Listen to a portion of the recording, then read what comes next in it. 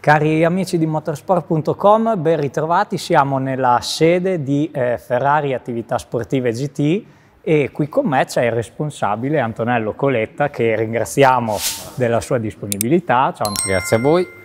Allora, alle nostre spalle, come potete vedere, c'è una bacheca che potrebbe parlare da sola probabilmente. E per incominciare a parlare un po' eh, di endurance e del nuovo programma del WEC con la 499P, e Antonello, non danno un premio per le pole position. No. eh, perché quello lì sarebbe stato bello secondo me. Beh, certamente partire nel, nel campionato del mondo Hypercar, eh, Endurance con l'Hypercar e fare subito una pole position è stato qualcosa di incredibile, di unico, una grande soddisfazione e direi un risultato anche un po' inaspettato, proprio per noi per primi. Eh, certo, lì diciamo un premio non ce l'ha dato nessuno, però ce lo siamo dati a noi stessi, a tutti i ragazzi che eh, hanno lavorato a questo progetto, che stanno lavorando a questo progetto e stanno facendo degli sforzi incredibili, perché eh, è veramente poco il tempo che abbiamo avuto per sviluppare questa macchina. Noi siamo scesi in pista la prima settimana di luglio, abbiamo omologato la macchina alla fine di dicembre, dunque è veramente un miracolo quello che, che è stato fatto, quello che, che stiamo facendo. Eh, il percorso è lunghissimo, la strada da percorrere ancora è, è veramente importante, però dobbiamo essere molto orgogliosi di quello che abbiamo ottenuto fino ad oggi e soprattutto di come lo abbiamo ottenuto proprio perché, eh, come ripeto, il tempo è stato veramente poco. Paul all'esordio, da seguita da un bellissimo podio, che poi si è ripetuto anche a Portimao e pure a Spa, quindi comunque è un bel percorso che alle prime armi eh, non può che fare invidia sicuramente. La domanda è quanto hai dovuto tenere a freno diciamo, l'entusiasmo? Perché voi eravate partiti dicendo dobbiamo partire umili, con calma, eccetera, però arrivano subito questi risultati, quindi sicuramente l'asticella ve la alzate da soli. Quello è vero, però io credo che eh, proprio questi risultati eh, arrivati come dicevo prima, nel caso della pole position inaspettatamente, eh, sono proprio la testimonianza di come è stato approcciato questo progetto, no? con tantissima passione, eh, tantissima competenza, perché le professionalità che abbiamo eh, all'interno della nostra azienda, che hanno i nostri partner, sono veramente importanti, ma anche l'umiltà eh, che contraddistingue un po' da sempre la nostra squadra, tutti noi, eh, credo che eh, abbia giocato e stia giocando un ruolo importante. È evidente che dopo le prime tre gare, eh, due terzi posti, un secondo posto, una pole, eh, una quasi pole a Spa, perché comunque eh, con tutte e due le macchine potevamo essere in position, eh, c'è stata tolta una per track limit, l'altra con Molina non siamo riusciti ad ottenere il giro eh, migliore perché ha trovato una macchina davanti ma era molto più veloce di tutti, di tutti gli altri in pista. Ecco, bene, tutto questo eh, è chiaro che crea aspettativa, no? Però eh, vi posso assicurare che all'interno della squadra sappiamo bene quanto sia difficile quello che, eh, che ci aspetta e dunque continuiamo a lavorare con, eh, con molta eh, non posso dire tranquillità perché proprio perché tutto il mondo adesso si aspetta sempre di più, però eh, con molta umiltà quello di sicuro e con la consapevolezza che dobbiamo fare ancora molto. Eh, Sebring, Portimao, Spa, tre gare completamente diverse. C'è qualcosa che ti ha sorpreso nell'arco di queste tre gare e qualcosa che invece ti aspettavi ma non hai visto? Ma diciamo che mh, tutti temevamo tantissimo Sebring dal punto di vista affidabilistico, ma già dai test che abbiamo fatto eh, durante l'inverno ci siamo resi conto che Portimao era una pista molto complessa eh, da, da, quel punto di vista, forse ancora più insidiosa di Sebring. Eh, so che potrà sembrare strano per eh, gli addetti ai lavori, ma vi assicuro che è così. E in effetti il problema meccanico più importante che abbiamo avuto fino ad oggi lo abbiamo avuto proprio a Portimao, per cui è stata, eh, se vogliamo, da una parte una conferma di quello che avevamo sospettato e dall'altra una sorpresa perché tutti temevamo molto di più Silberg di Portimao. Eh, detto questo, eh, giusto, ogni gara è una gara a sé, mh, tre circuiti completamente differenti. Io avevo detto all'inizio della stagione che soltanto a Spa avremmo cominciato ad avere la giusta percezione dei valori in campo. Credo che Spa, anche mh, a causa delle classiche condizioni meteorologiche, eh, ci ha fatto capire solo in parte il valore di tutti, ma non vorrei neanche sminuire troppo il valore di chi, eh, degli altri competitor, Toyota a parte, perché vi assicuro che sono molto, eh, molto competitivi e dunque eh, non, eh, non, è così eh, scontato quello che, che, stiamo vedendo, cioè oggi la Ferrari è la seconda forza in campo, ce lo dice la classifica, ce lo, dice, eh, ce lo dicono i risultati, ma eh, abbiamo combattuto in tutte le corse anche con gli altri e non solo con Toyota. Anche contro eh, voi stessi per un certo punto di vista, diciamo, cioè alla ricerca del limite, comunque nel cercare di scoprire qualcosa, perché di fatto ogni volta che andate in pista lo dite sempre, imparate qualcosa. Allora, su questo non c'è alcun dubbio. Noi impariamo la nostra vettura eh, ogni giro che facciamo, non solo in prova, ma soprattutto in gara. Eh, è chiaro che se noi avessimo sulle spalle un anno, un anno e mezzo di test, la sicurezza che avremmo nel gestire la nostra macchina sarebbe completamente differente. Eh, non potendo eh, fare tutta l'esperienza necessaria per motivi di tempo, ci ritroviamo a farla in gara, per cui eh, questa è una delle, delle prerogative eh, del nostro team di oggi, cioè migliorare noi stessi nella conoscenza della vettura e nella gestione del, delle strategie, della, delle gomme, del, di tutto quello che eh, oggi è necessario per raggiungere il risultato. Le gomme, visto che le hai citate, purtroppo a Spa eh, siamo incappati in quello che era il grande timore di tutti, cioè le problematiche dell'entrare in pista a gomme fredde.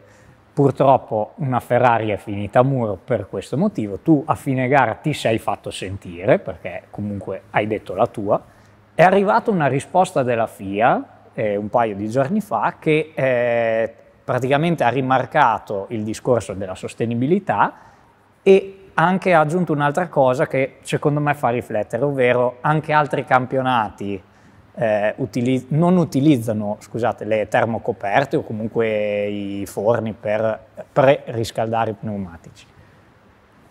Hai una controrisposta a questa giustificazione? Abbiamo purtroppo avuto un brutto incidente a Spa, ma non solo noi, perché il giorno prima l'ha avuto la Toyota, nei test lo hanno avuto altri, noi anche a Sebring, molte vetture GT hanno avuto lo stesso problema, abbiamo ritardato la partenza della gara perché le vetture GT non riuscivano addirittura con i gentleman al volante a, a stare eh, nel gruppo nel giro di lancio. Io mi sono limitato a dire che è ovvio che come sempre la Ferrari rispetta le regole, le regole sono uguali per tutti, eh, ma questo non vuol dire che non ci siano situazioni di pericolo. Eh, mi sto chiedendo se, eh, ma non solo io, ce lo stiamo chiedendo un po' tutti, poi il fatto che io lo abbia manifestato e gli altri no, eh, non, eh, non, sta a me eh, andare a vedere il perché e per come, ma vi assicuro che tutti pensiamo la stessa cosa. E credo che sia sciocco eh, nel nome della sostenibilità, che è comunque importantissima, però cambiare una regola quando si hanno delle gomme che sono nate per lavorare con partenza a caldo, perché in passato si correva con le gomme che partivano a temperature eh, naturali, diciamo, no? eh, in molti campionati si corre anche adesso così, ma le gomme sono nate e fatte e sviluppate per correre così. Mm, credo che eh, nulla in contrario ad applicare questa regola, ma sarebbe stato forse meglio farlo a partire dal 2024, dando anche la possibilità di, a chi costruisce le gomme di eh, produrre un pneumatico che potesse partire eh, a temperatura fredda.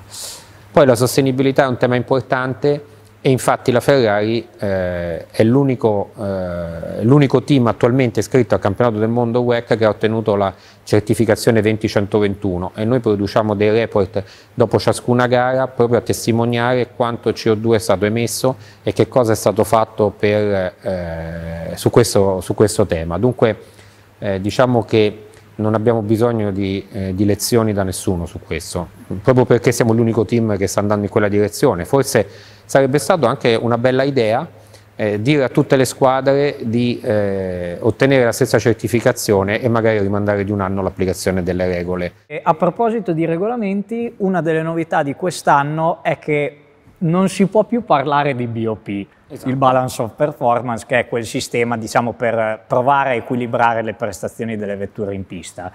E non ti chiedo cosa ne pensi del BOP attuale, però ti chiedo se secondo te verrà cambiato, perché c'è chi dice che verrà cambiato prima di Le Mans, c'è anche chi dice che non verrà cambiato prima di Le Mans perché c'è un accordo interno vostro con la FIA e team, non è ben chiaro. Fatto sta che qual è la, la tua sensazione?